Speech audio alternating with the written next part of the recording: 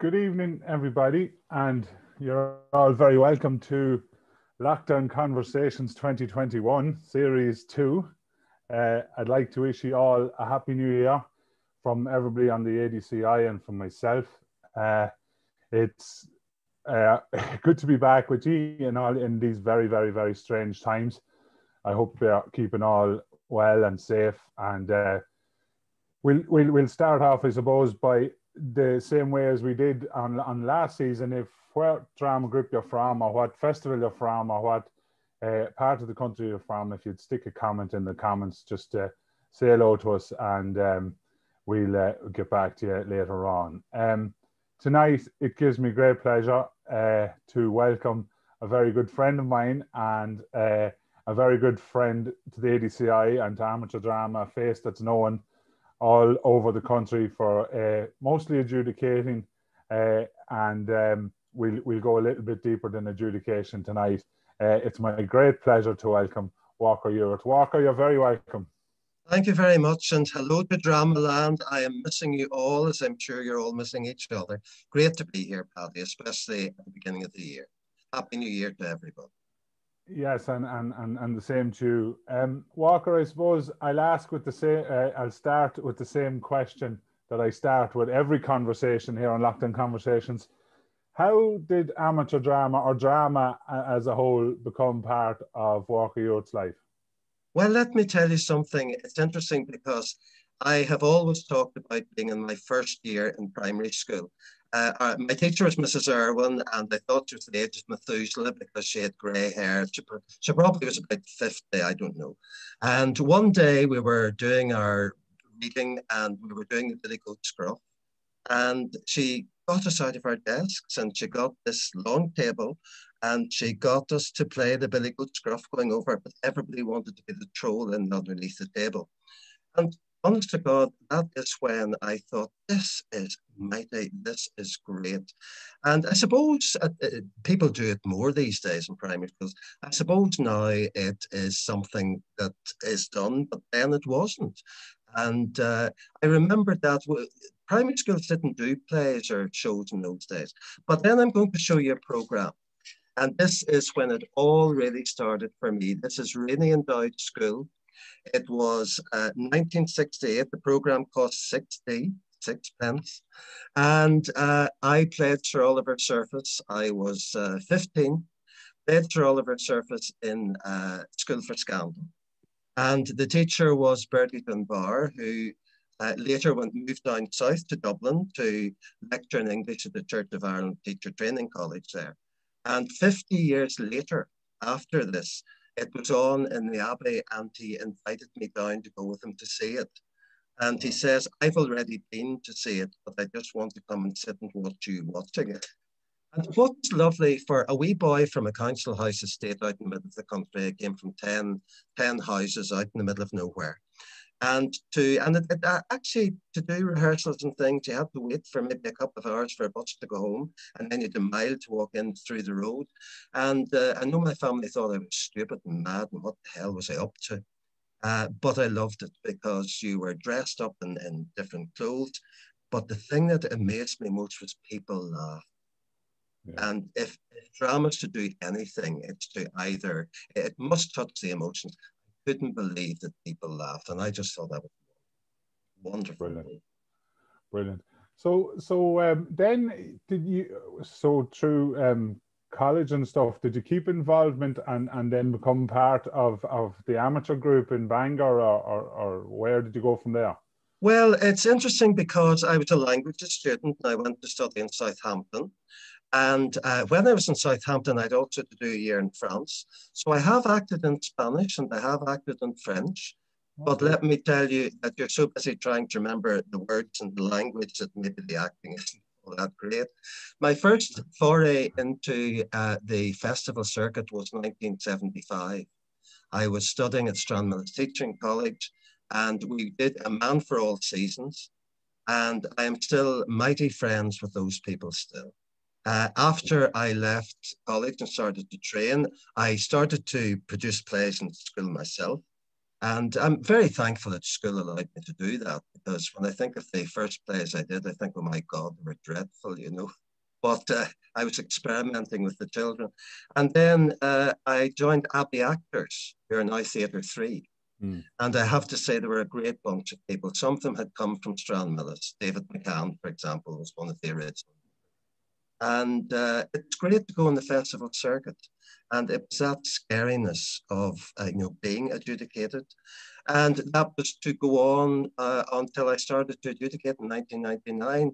Normally, I would have been out uh, on the circuit as a director, sometimes as an actor, not always with Bangor Drama Club, but sometimes with Rosemary Drama Club, with with whoever. Look, I was a bit of a slut. Whoever that, that that would do it. You know. You go you go back. Um, a, a, lot of the people on here, are a lot of the people in the NEC would would know. Uh, Isabel Eaton. Isabel, yes. when, when, I first went on the on the NEC, myself and Isabel were, was the Ulster reps uh, on the NEC. Uh, a, a, a, great lady, and yourself and Isabel was involved in a production in 1984 that won the Ulster Drama Hay, hay fever. I, I, joined Bangor Drama Club, and mm. again, I, I, would have to lay everything, acknowledge what they did for me because they allowed me to direct. And I worked with people like Isabel as an actress, but it was, it was the most fantastic year because uh, Bangor hadn't won anything for, I think, 25 years. It was something quite a long time.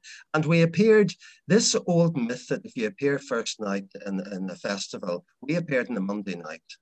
And Hay Fever by Noel Coward was on in London at the time with Penelope Keith in it. And uh, James Patrick uh, praises beyond doubt. But then, of course, as you know, you then have to wait until the end. You think, look, it's going to forget all about us. Now, he had told us he'd seen the London production and thought that ours was great. And I'm going to tell you a wee story about sometimes adjudicators see things that you don't see. And Mary Gilday had been the secretary of Bangor Drama Club who asked me to join, and she was a lovely lady. God rest her. And she had got, I just said, Mary, get some flowers to put in alcoves. And James Patrick got up and he said, and I just loved the choice of flowers. I just thought having honesty, that flower called honesty when everything is such so dishonest. And Mary looked at me and I looked at her. She says, I didn't know it was called honesty. I said, look, Mary, we'll take the marks, whatever he gives us for them now.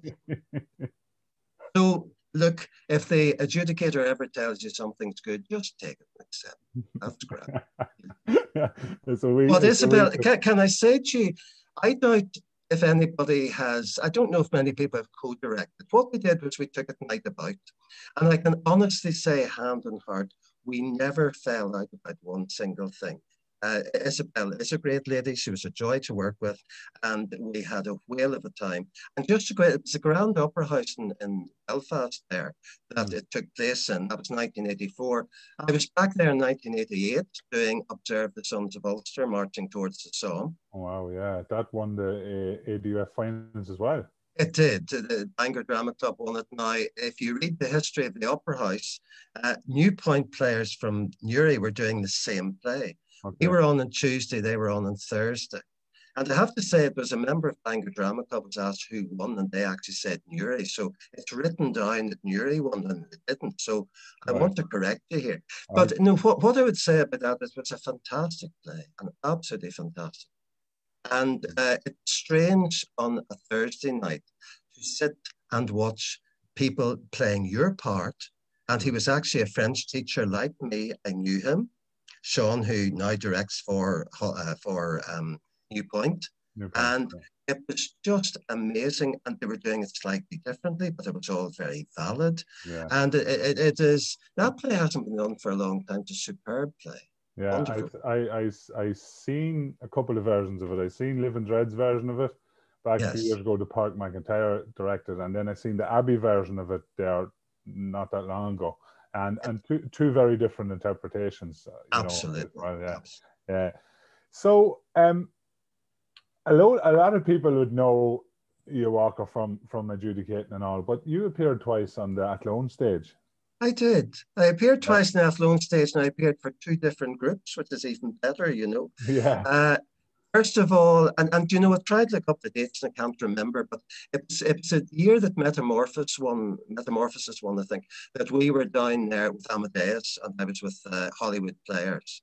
And uh, I have to say, I was very lucky uh, as an actor to have uh, Carol Stewart from Holywood Players direct me and to Patricia Irvine from Bangor to direct me because these two ladies know about speech and know about rhythm and know how to talk. And I learned an awful lot from both of them.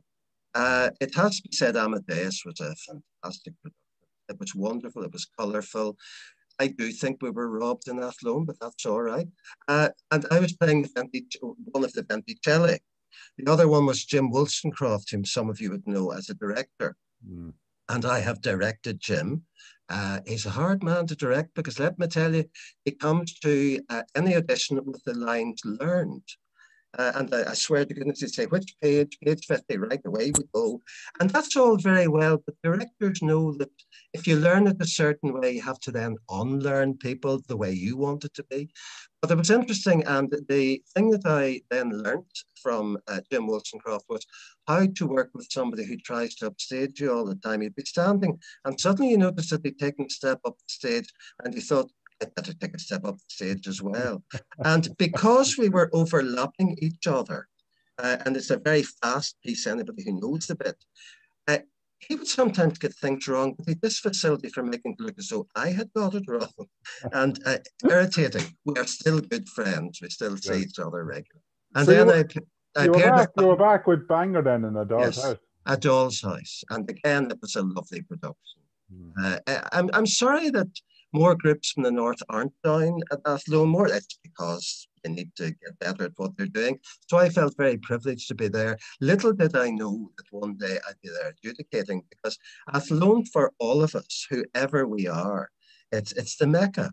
And uh, can I say for any adjudicators, uh, Scotland, Wales, uh, England, Ireland, to be asked to do Athlone is just, it's just a wonderful thing to do. The atmosphere is great. And you know, I was thinking about it and I just thought about uh, the wee lady who makes the tea uh, for all of the groups. And I thought to myself, because that's where I started. That's where I started with in festivals. Uh, my, my wife and I would made sandwiches. My God, you hated it because you had to get up and make two loaves of sandwiches every day, for which you were maybe paid two pounds or something. Yeah. Uh, and, and but I just think of that wee lady, and she is the essence of so many groups and festivals, the one to make you the wee cup of tea, which is always very welcome. Yeah. You know, and, and, and that's their role. So it was great to be on the stage. Frightening, it has to be mm-hmm. said, absolutely, because uh, there's no point going on. You, you realize that the Athlone audiences know what they're talking about. Yeah, yeah, yeah, yeah. And then, um, so so that's your stage point of view. But then a lot of people might not know here um, that you had Bangor Drama Festival. You were involved with Bangor Drama Festival, and you were AUDF chairman. I was. I, I was a secretary for, I think, about 14 years. I tried to get rid of it. it's very hard. Uh, and then I became a chairman. And all I would say is I feel that I can look any committee or any festival or any group in the face because I've been there and done that. If I can just go back for a minute, I mean, I, I remember at the beginning thinking, you know, some adjudicators, forgive me for saying that, are bastards. They're dreadful. You couldn't trust them. And they're just because it's your baby. And I, I go back to adjudicator, uh, uh, producing for uh, Rosemary Drama Club, and we did A Woman of No Importance by Oscar Wilde. I love Oscar Wilde. And uh, I remember in one week we did four festivals and we did um, two nights a break and two nights. Mm. I'm talking about going from Enniskillen, which is at the bottom of Northern Ireland, up to Ballymoney and then over to Derry. So we, we travelled a lot and our results were a second, a tenth, a second, and a tenth. And I thought to myself, now look, I know as a director that there might be, it mightn't be a great show, but by the heavens, I do not know how it got 10th. Yeah. And basically, and it would have been adjudicators who in those days would have been revered, who I don't think would have believed, they believed that their viewpoint was the best viewpoint. Therefore, if they didn't like it, too bad. And uh, it was disheartening. And, and I feel it early on. I think that the whole system has got better, uh, including the way people are adjudicated and, you know, the way we learn more than just people dismissing your play. Mm-hmm. But I did uh, then become chairman of AUDF, which was a mighty honour because, you know, if you're uh, the chairman of any organisation, which, which, belong, which is something that you believe in, and I believe so much in the festival circuit, mm-hmm. uh, it's interesting because at that time we put two different marking schemes. And that was uh, very difficult. Billy Nutt was just coming to the end of his chairmanship in ADCI. Tom Hanley was about to start, and I worked with both men, and uh, we, we, we, we got some things that we made sure with the same marking scheme. I remember Billy, God love him, and if he's listening, I'm sorry to have to tell him, but you know, he, he, he liked the thought, and I was very prepared that, you know, the two chairmen should be seen publicly. And. I remember I was working for the inspectors at the time, so it was easy enough. But he phoned me up and he said that RTE are about to sponsor and they're about to have a launch. And could you ever come down to the meeting? And I said, certainly, Billy. When is it? He said, tomorrow. And I said, wait a wee minute. But as it happened, I got on the phone, I got my work sorted out, and I went down. And that was the beginning of what I think should always be uh, uh, a link between the two. I'm not convinced that it's always been as strong a link, link as it should be, mm. but you know, uh, one should not harm the other. There, there's room for both of us. Both, yeah. And uh, basically, what, what I love about any um, groups that come from down south, they love to come to the Ulster finals. Uh, they're, they're, I go back to Sundrive uh, players and and Una, what was Una, Una Parker. Una Parker, yeah. And she loved coming to the Ulster yeah. final. So at that time, it was in Lyric Theatre. Yeah. And she just thought of it, you know, and she really valued it. And, and I think, uh, did she win one year? I'm not sure she did, but Sundrive came to us a lot of the time. Yeah. Great. In, so I, I love that. It wasn't it amazing, like uh, as an organization, uh, and it's an all island organization, and wasn't it amazing how amateur drama stayed strong through through the troubles and through the tough times? Amateur drama always stayed stayed stayed strong. I think that if you go back, and it was only latterly, uh, before the Troubles ended, there was only ever one, uh, and it was in Larne, it's only one group that were threatened and that was stopped. And what I think has been awful, and, and I get quite emotional about it, the first time I adjudicated an All Ireland final one act was in Ennis, and I begged them from the stage to start and come back to us because um, it was dreadful it, it's awful that there were two Irelands. Even today, as I, I look at the, the two jurisdictions dealing in a different way with the pandemic, you think, look, you're not going to dilute your unionism mm-hmm. or strengthen your nationalism by working together for people. And it was great. It, it, was marvelous that people could travel wherever. And we went to some places that you would never have gone to in your ordinary day. Yeah, yeah. And you did your play, and it was the play was important, and it was uh, you were well looked after. And I just think it was it was terrific. Uh, and uh, you know, the, the, RUC at that time got the George Cross for you know all they did, and I just felt that amateur drama should have been recognised as well because it crossed all barriers. Yeah, absolutely. Yeah, yeah, yeah, I agree with you on that one. So how how did you come then to the adjudication process? How did, how did I come to be, to... Uh, to be an adjudicator?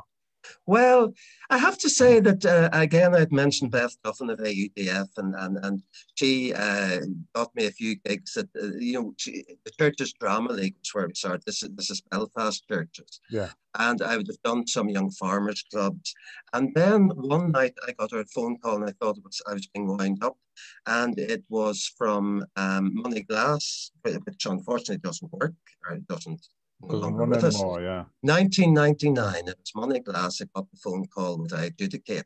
And I said, you know, I've never adjudicated before. And they said, but well, that's all right. Uh, we, we've asked you. And Moneyglass is like some of those great country festivals.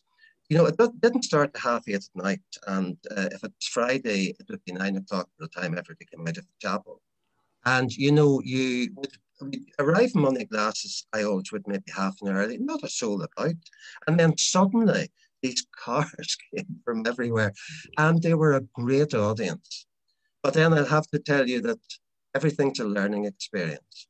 And it was the 21st of March, and it was my wedding anniversary. And I had to say, you know, darling, we're not going to celebrate. In fact, we didn't celebrate for many years after, because mm. that time is festival time. And off I went to, uh, I'm not going to mention the group, and, but some of them might be listening in, to adjudicate the group who were doing the odd couple. I, I have to say it was the first time I was adjudicating stage. And maybe I said too much on stage about what needed to improve. But uh, after that, you used to have a salad tea. You met the group. And I went into the group, and I have to be very careful because I'm not going to say the F word out fully, yeah. but it was said very fully. And I walked in to meet the group, and these are people I'd been competing against, working with, and whatever. And uh, this guy that I knew very well looked me straight in the face and said, F you and F your F in adjudication. and I thought, well, I don't know where I'm going to start now. and it was a very tense time. Yeah. And I thought I could be out having a dinner with my wife, and yeah. maybe I have got this terribly wrong. And what am I going to do? It really shook my confidence until I found out that they were last in every festival they went into. And I thought, yeah, okay, I wasn't as bad as I thought I was. But it taught me a lesson. It taught me maybe I was too brusque and too abrupt. Mm. And, uh, you know, you have to learn those things. I was so keen to let them know that I knew what I wanted to say. But mm. uh, that, that was the start of it. And it's interesting because through word of mouth, and then I, am going to move on to the Shercock experience because yeah. what's wonderful was very early on, uh, and it was uh, through um, Mid Ulster Carrickmore Festival. I was the travelling adjudicator. Yeah. And you know, it's an idea they need to, you all need to think about bringing back. They left one night for the winner of the travelling adjudication. And I found places in County Tyrone I did not even know existed. I was very nervous about would I ever find them, but let me tell you, mm. you just followed the crowd, you followed the headlights. Mm. And that was a great experience. And of course, I ended up with Sullen Players and Shercock. Mm. And then the delightful and my great friend Anne O'Reilly and had the courage to invite me down. And that was my first time going over the border to uh, adjudicate. Oh, to adjudicate, yeah. It wasn't my first. It wasn't my last time Shercock either, as you know. No, no, no, no. You were there. We, we actually had you for the All Ireland Confined Finals in 2012, which which was which was great. It was like, which was special. It was because like I was adjudicating. One of our own adjudicating. well, I, I, was adjudicating on my 60th birthday, which was absolutely yes. wonderful, if you remember. That, that yeah. just for me was the pinnacle of what I wanted to do, to be there mm-hmm. on my 60th mm-hmm. birthday. Because most of the festival, all of the festivals are, are, are the same age mm-hmm. uh, including the, the, the northern one, the, yeah. the Ulster final. You know. Yeah. So then, Walker, you went on then to uh, sure adjudicating uh, all over all festivals, both north and south, and you've done all our fi- all the All Ireland finals twice. You've done yes. the British finals twice. Twice, yeah. And the Scottish finals twice. Once. It's, it's Scottish right, okay. only once. Uh, Come on, Scotland, just need to book up here and get. And then for this, well, no, but I, I have to tell you, the, the exciting thing is that England has just discovered me two years ago. I mean, okay. they they didn't know I existed. You see, the point is that England will only have GODA adjudicators, and when somebody yeah. took ill, I was asked to go over at the last minute. Mm. So I had to introduce myself as "Good evening, everyone. My name's Walker Ewart. I'm not a member of GODA." Uh, but they've asked me back, so I must be doing okay. Do you know that? You, you must be doing okay. So the, all them All Irelands that uh, I suppose the, a great achievement to, to, to, to get to do the, the confined All Ireland and the open All Ireland and, and two one act All Irelands. Um, I suppose this is catching you on the hop away, but you know, we all resonate tonight in amateur drama that that stuck you to your seat as as as audience members and as directors and as actors and all drama people. Uh, you know, if you ask any drama people on this uh, that's watching this uh, conversation tonight, there's nights you know that you'll never forget in amateur drama. Is there any of them moments in your head? there are um, a night in November. I would have to say in Glenamaddy Uh, and and you know it's interesting because there was all this fuss about could you have a one man doing it, and whatever else. And I suppose what resonated with me was my son was was at that match, and, and you, you suddenly realised that this. And and I know that when it reached the All Ireland, it, it raised a bit of a fuss because uh, there was a politicised remark made from the stage. And um, I, I, I, just thought that, look, we have to. I, I, thought that play was done wonderfully well. I, I thought that uh, it was Willie, wasn't it, that did it from from Cavan? Mm. He, he, was yeah. superb. Uh, I mean, Willie Lyons was not it. Uh, yeah, from I, have, um, from Cork. From North yes, Cork. well, well, yeah, he's yeah, from Cavan originally, but he, he was working yeah, yeah, yeah, with them. And uh, I thought it was very brave to do, and it was uh, it, it, touched me. Look, you know, and anybody who knows me knows that, that I can get very emotional about it, and mm-hmm. I find it hard to walk up onto the stage and not cry. Yeah, because yeah, yeah. it had got me. I, I, mean, and you know, if there's anything about an adjudication, and people can talk about the marking system, the marking system's there, and I believe firmly in it. But uh, it's also, does it get to you? Does it make you really laugh out loud? Mm. Uh, you know, I've, I've seen The Cripple of Inishmaan uh, quite a lot. Uh, I've seen what, what's the one about the two boys and the, the statues. I've seen uh, um, Lonesome, Lonesome West. West yeah, Lonesome yeah. West is the one that I've educated most, let me tell you. Could almost, okay. if they forgot their lines, you think they could up and do it themselves.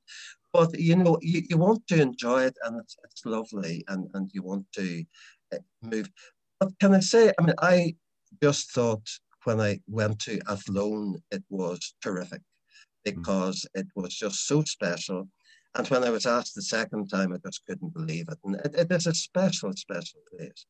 But you know, I'm going to say something, and it doesn't mean don't ask me to do finals. Do you know what I really love? I love seeing a play early on. Yeah. And I just love to, and I, I remember God rest Alan Sparling, and I was in Doonbeg, and Alan had uh, brought the rabbit hole. Mm-hmm. And he said to his group, before he started, he said, Can I just say a word to them before we start, Walker? I want them to know that they're lucky to have you early on, and I'm looking forward to what you have to say. And I just was bewildered by this. I, yeah, I just thought, yeah. isn't that terrific? But I love, I mean, any of you who know me know that I want you to succeed. I will be honest with you. Mm-hmm. Uh, uh, and I, I just want to get the best out of people. And that was a lovely tribute. And Mary Egan as well, and Meg would have said that too.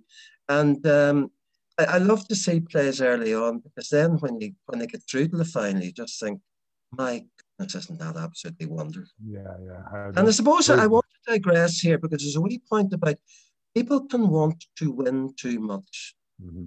And there was a very telling moment, and she will know who it is. Her group may not know who it is, and I'm not going to reveal who it is. But um, the group was very disappointed they hadn't won a final. And I was, if you like, sympathizing. And this lady, good actress, turned to me and said, let me tell you something, Walker. There are groups that appear in festivals and don't even ever win a festival, let alone get through to a final, and they still keep doing it.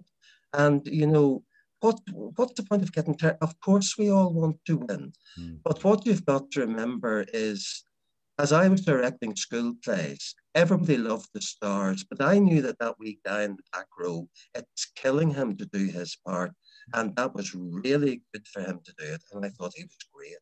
And I would say that about anybody bringing on actors. Maybe we can look for tin cups too much, where we need to be thinking about how are we bringing people on. Yeah, yeah, yeah.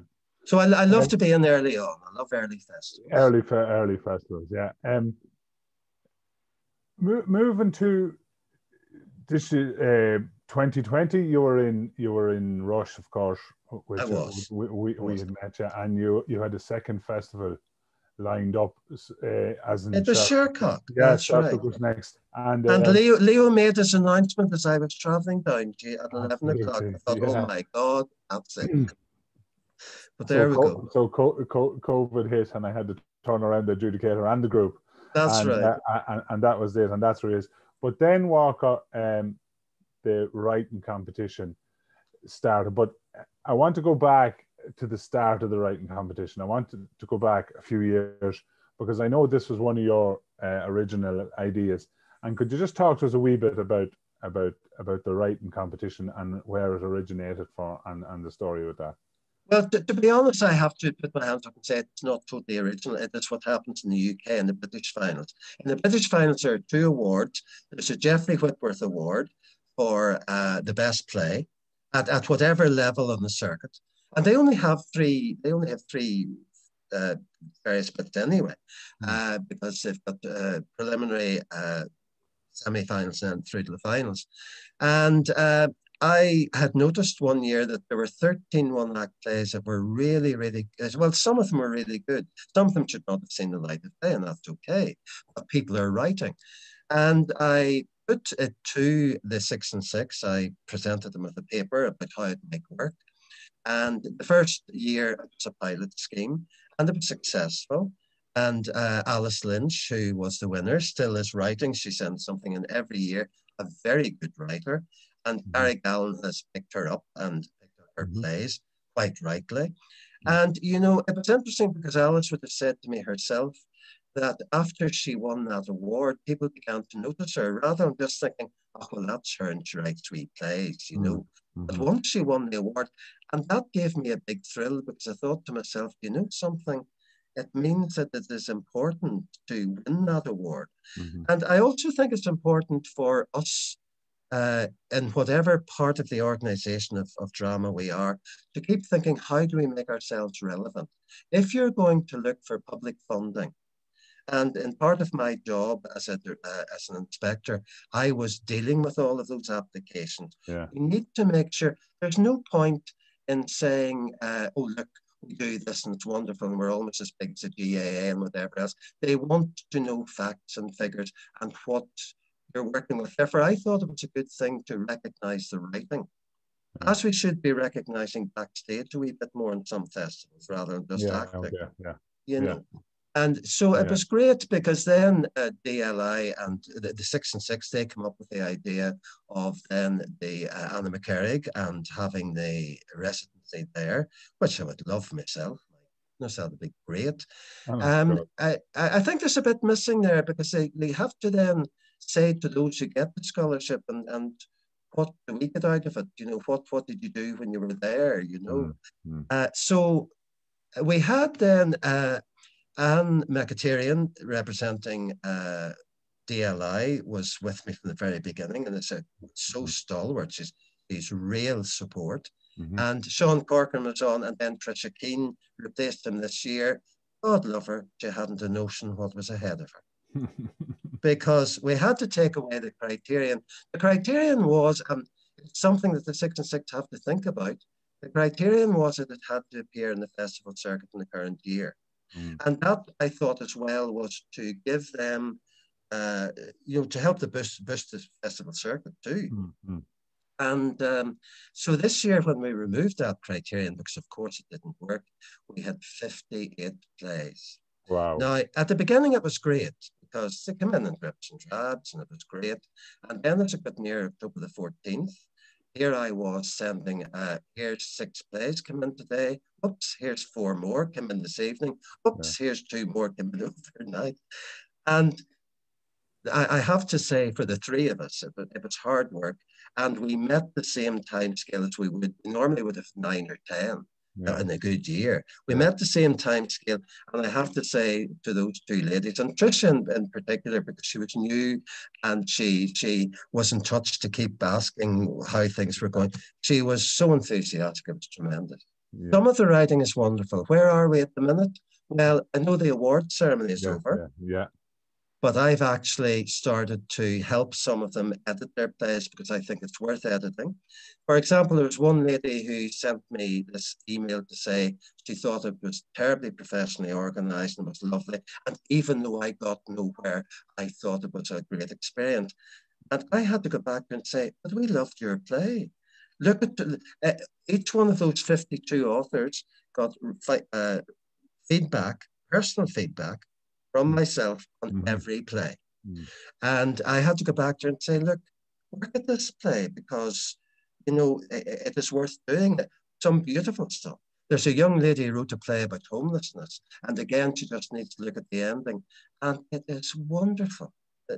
that we've got some tremendous writers. I have to say it's great. But I've got a challenge for everybody. I don't know, are we going to end up soon? Uh, uh, before we go, I have a wee challenge for everybody. What's happening at the minute is I have got in touch with 32 people mm-hmm. whose plays are worth our performance ready. I will be doing a compendium of the number of people in it, the setting, what the story is about, and DLI will be getting that list so that new that producers wanting new plays can uh, mm. access them and find out a play that would suit them. There's some wonderful stuff out there. Uh, and, and, I mean, uh, even the winner, uh, Irene Kelleher, Safe Passage, mm. I know she wants to produce that herself uh, professionally, but she has said she would just love an amateur group to pick it up and direct it as well. She, she would love to go and see an amateur group doing it. It's about a lighthouse, lighthouse keeper, a young girl, wonderful play. It was just stunning. Another place, number two, The Centipede by Tom Holohan, who is down around Tralee. Great play, and I think that'll become a, those two will become a classic, there's no doubt. You know, once people have the courage. Uh, sometimes we go for the safe play I think I worry about uh, people who get plays that think that adjudicators will like. And I'll go back again to my early years. Doing summer theatre was fantastic. Doing summer theatre comedy taught me so much about timing and acting. And Sam Cree is our local writer up here who died yeah. many years ago.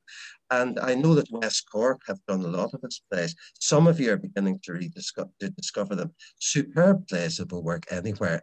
If you don't have them rolling in the aisles with that, anything. So it, it's um, it's fascinating. Uh, the, the, the, the playwrights are there. There are writing groups there, and we haven't reached them all. Mm. And uh, I don't know if it's our duty to reach them all, but we need to at some stage make sure that we acknowledge some very fine writing very fine writing. And to encourage so, writing as much as anything else. Yeah, and to encourage maybe directors out there of of, of groups, um, you know, including my own group and and, uh, and other groups to take the plunge with a new play, you know, with a new piece of, piece of writing and, and bring it to the stage and let us see it too. Well, come on, all you Cavan men, let me tell you that they, they, these, these plays were marked blind. And mm-hmm. there are three playwrights mm-hmm. in the five that were highly recommended, or six maybe, and they are from Mullagh in mm-hmm. County mm-hmm. Cavan. Yeah, and yeah. they appear with Mullagh players. And I'm telling you, yeah. you're thinking to yourself, if you have that richness there, my goodness, it, it, it, get, get to them, use it. I know all the people out there involved in groups and and and and involved in plays and and guys like myself that direct and I've been adjudicated by you on, on many occasions, and I've seen you adjudicated on many occasions. So I, I know what works for Walker. Or, well, I think I know what works for Walker. But uh, people out there will be asking me, what what ticks the boxes? I asked this to Paula the night later on too. What ticks the boxes for Walker as an adjudicator?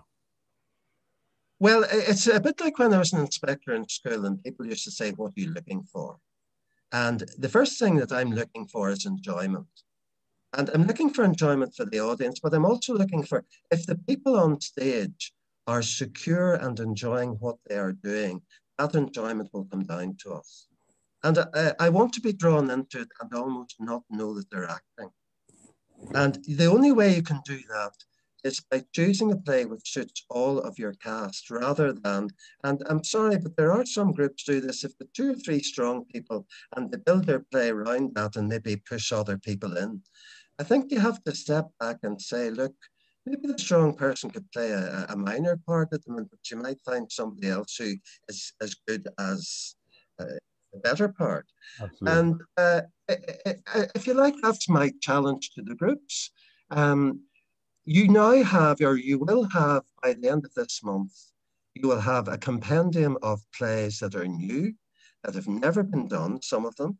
One or two have been, but that have never been done and are worth doing and they will work. And I'll tell you why, because uh, Bangor Drama Club is very good at, at uh, you know, the English voice, if you like, but we're not very good at something like Alan Ayckbourn, which he writes in a very specific way, this rhythm. Mm-hmm. But you mm-hmm. know, these all these plays that have been in this play competition, and remember we've had uh, a winner and two runners up for three previous years. Yeah. All of those plays are written in your voice. Yeah. And you don't have to and you will recognize the characters. It's funny because next week I'm, I'm talking to uh, the Glasgow division in, in Scotland, Scotland Community Drama, and I've chosen to write about uh, how to be a character that will cross borders. Yes. And you have to really find something that chimes with you. And I would encourage you all, uh, again, once this arrives, poor Valerie McGill will end up with an awful lot of work that you won't mind. But once this arrives with you to uh, read some of the plays, there's a there's a man, and I don't know whether he's young or old, but he wrote this zany play and it needed a bit of work. And he may be listening in tonight because I told him to do so. And I, Trish, Trish and I just thought it was absolutely fantastic. I mean, it is way out there. It's unbelievably way out there. Okay. And uh, we loved it. And I, I worked for about a day on it and sent it back to him and said, look, this is the way I think, cut some of this. This is what I think you should do. And I would love to see that play direct. Not going to say which one it is. You'll have to find it out. All, all I would say is there's a submarine involved, so you'll have to build a submarine.